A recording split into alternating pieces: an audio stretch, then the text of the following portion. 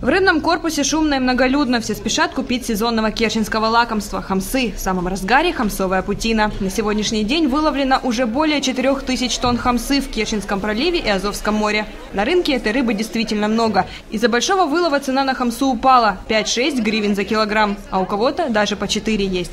Хамса идет? Хамса идет, за это много. Хамсы много, теперь цена падает.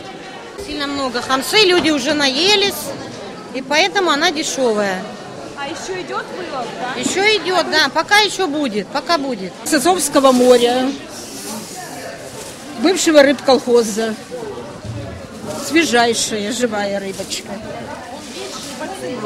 5 гривен килограмм уже можно сделать все, и котлеты, и запечь, и оладики. Кирчанам можно на ней просто выжить. Спрос на черноспинку велик. Продавцы то и дело успевают взвешивать любимую кирчанами рыбу. Мы поинтересовались, как часто покупают хамсу и какие блюда из нее горожане любят подавать на стол. Это сезон, это же обязательно надо кушать хамсу. Все делается, свежего всего, и котлеты, все. Конечно, я не могу жить без хамсы.